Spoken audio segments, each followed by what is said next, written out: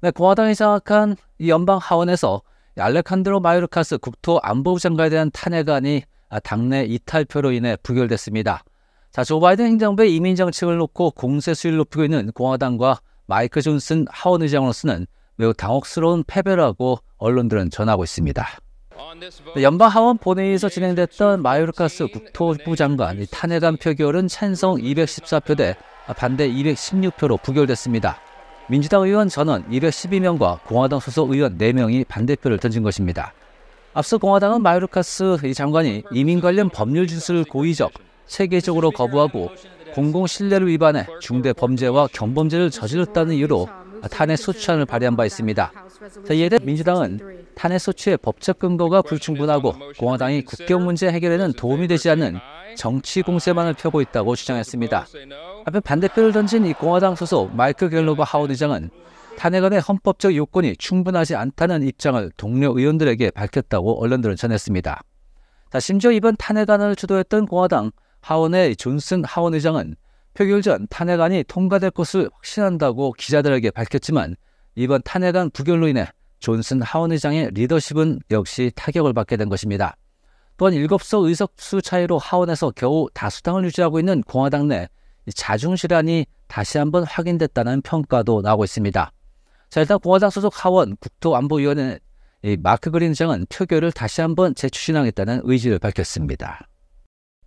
네, 대선 관련 소식입니다. 1984년 이후 미국 대선 결과를 거의 맞춰와 쪽집게로 불리는 앨런 리트먼 아메리칸대 역사학과 석좌 교수가 올해 11월 대선을 앞두고 현재로선 조 바이든 대통령이 약간 우세하다고 내다봤습니다. 그 이유가 어떤 것인지 설명해 드립니다. 리트먼 교수는 미국 선거사를 분석해 개발한 모델로 이 대선 결과를 예측하고 있는데요. 이 모델은 첫 번째 집권당의 입지나 두 번째 대선 경선, 세 번째 후보의 현직 여부나 네 번째 제3후보, 다섯 번째 단기 경제 성과, 여섯 번째로 장기 경제 성과와 일곱 번째 정책 변화, 여덟 번째 사회 불안, 아홉 번째 스캔들, 그리고 외교 군사 실패나 또 외교 군사 성공, 현직자의 카리스마, 또 도전자의 카리스마 등 모두 13개 항목으로 구성한 표입니다. 지금까지는 바이든 대통령이 5개, 트럼프 전 대통령이 3개 항목에서 점수를 땄다고 리트먼 교수는 전했습니다. 리트먼 교수는 바이든 대통령이 재선에 도전하는 현직 대통령이고 또 소속당이 그의 후보 지명을 두고 심각한 도전에 직면하지 않고 있다는 점 또한 주요 정책 변화를 단행해 왔다는 점 등에서 유리했다고 설명했습니다.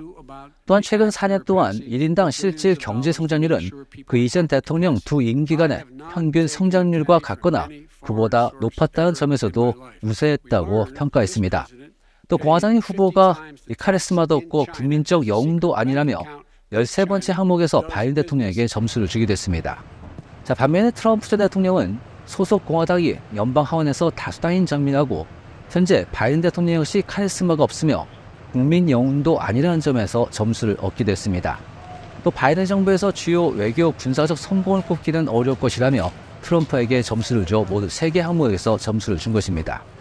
릭트먼 교수는 1984년 대선에서 로널드 레이건의 대통령의 재선을 예측한 뒤 모두 10차례에 걸쳐 조지 H.W. 부시와 빌 클린턴, 버락 오바마, 트럼프 전 대통령과 바이든 현 대통령까지 대부분의 당선 결과를 정확하게 맞춰왔습니다. 특히 2016년 대선에서 힐러리 클린턴 전 국무부 장관의 당선을 유력하게 보는 여론조사가 쏟아졌지만 그는 트럼프 당시 공화당 후보의 당선을 예상하게 됐습니다.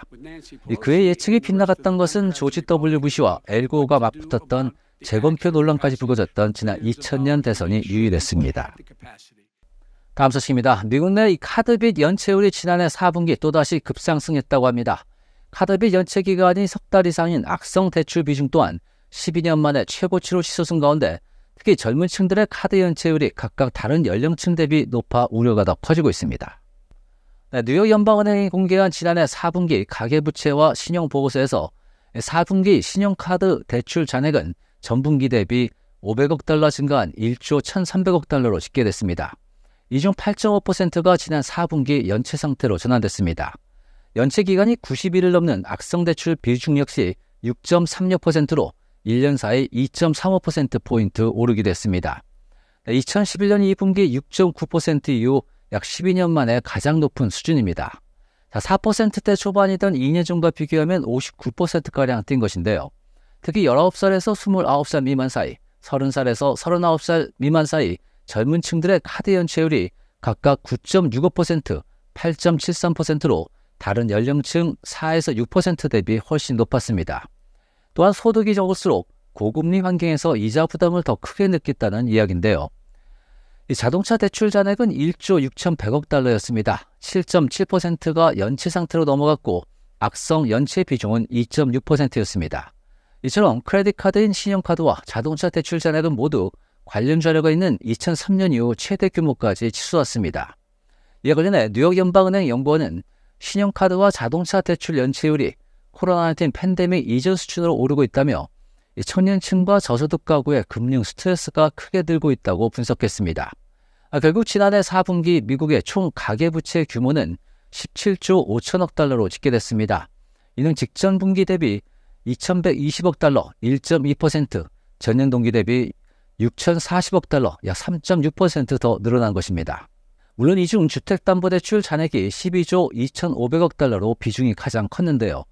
주택 지분을 담보로 신규 대출을 일으키는 대출 상품인 아, 주택 자산 신용 한도 잔액 역시 2022년 1분기 이후 7분기 연속 증가하면서 3,600억 달러로 집계됐습니다.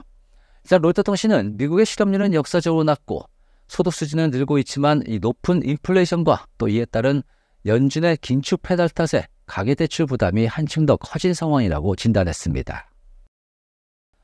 네, 경기 관련 소식 하나 더 전해드립니다. 이 경기 침체를 피할 수 있다는 연준, 연방준비제도의 자신감이 더 커지고 있다는 기사도 함께 나왔습니다. 이 제롬 파월 의장에 이어 매파로 분류되는 닐 카시카리 미니애폴리스 연방준비은행 총재 역시 연착륙 이상의 성과를 달성할 가능성을 점쳤습니다.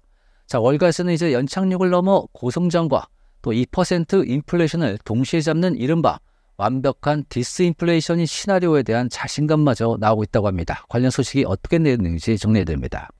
네, 미니애폴리스 연방준비은행 카시카리 총재는 올해 미국이 경기 침체를 피하게 될 확률이 매우 유력하다고 전했습니다. 지난 1월 3.7%의 낮은 실업률과 활발한 신규 고용을 고려할 때 올해 역시 경기 호조가 이어질 수 있다는 이유입니다. 연준 내 매파로 꼽히는 카시카리 총재는 그동안 고강도 통화 정책을 주장하면서도 경제 전망에 대해서는 신중한 입장을 유지해 왔는데요. 그는 지난해 4분기까지만 해도 깊은 불황을 피할 수 있을지 모른다고 조심스러운 전망을 내놓기도 했습니다. 자, 하지만 이번에는 국채 수익률 역전 현상도 이번 주기에서는 적절한 침체 지표가 아니다라며 침체 우려를 일축한 것입니다. 자, 통상 단기 국채 수익률이 장기물 금리보다 높아지면 침체 신호로 읽히는데요. 자, 그런데 이제 미국 내 2년물과 10년물 국채 수익률은 2022년부터 역전 상태입니다. 한편 패트릭 하크와 필라델피아 연은 총재 역시 이날 한 강연에서 최근 경제 지표는 디스인플레이션과 노동시장 균형, 소비자 지출 호조 등 연착륙에 필요한 세 가지 요소를 다 가리키고 있다며 아직 연착륙한 것은 아니지만 목적지의 활주로가 눈에 들어온 상황이라고 설명하게 됐습니다.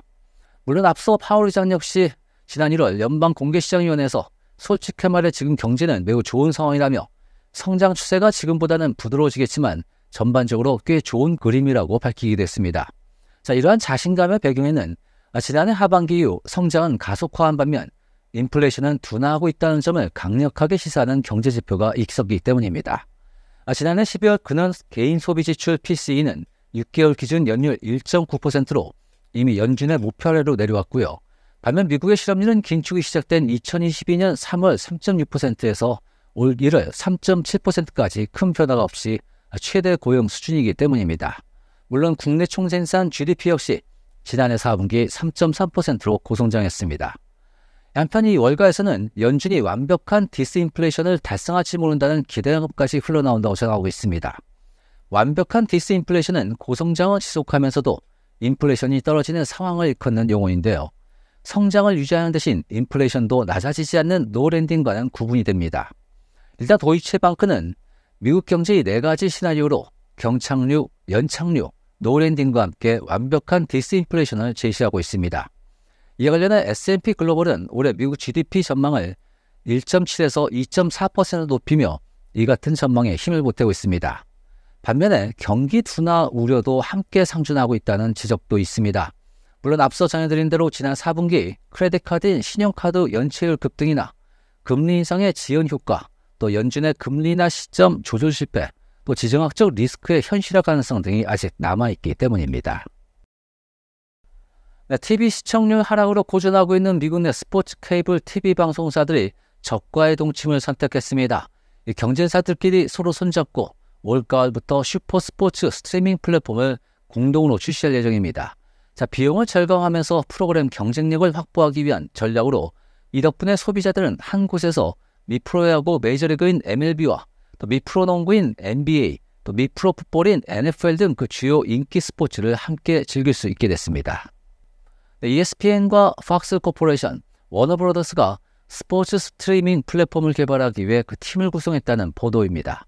월스트리트저널은 이들 미디어 기업들이 올가을 통합 스트리밍 플랫폼 출시를 준비하고 있다며 아직 구체적인 이름과 구독료 등은 정해지지 않았다고 전하고 있습니다.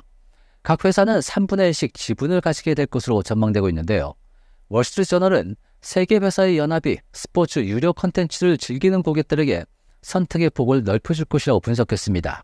이번 스포츠 미디어의 연합 플랫폼은 ESPN과 폭스 간 결합에서 시작됐으며 두 회사는 이미 호주에서 폭스가 ESPN 컨텐츠를 방송하는 방식 등으로 통합 서비스를 제공하고 있습니다. 다만 세 회사는 선택에 따라 개별 서비스의 유료 구독을 유지하면서도 통합 플랫폼을 함께 판매하는 방식을 고려하고 있는 것으로 전해졌습니다. 일단 슈퍼 스포츠 플랫폼 가격은 기존 월 100달러에 달했던 일부 스포츠 케이블 구독료보다 훨씬 더 저렴하게 책정될 것으로 보입니다. 앞서 미국 스포츠 케이블 방송사들은 시청자 감소로 실적 부진 위기에 빠진 바 있는데요. 고객들이 이탈하는 와중에 세계적인 스포츠 리그 중계권 가격은 계속 상승하면서 악순환이 이어졌기 때문입니다. 일단 신문은 미디어 기업들의 연합은 스포츠 중계권 가격이 급등하는 가운데 나온 것이라고 강조했습니다.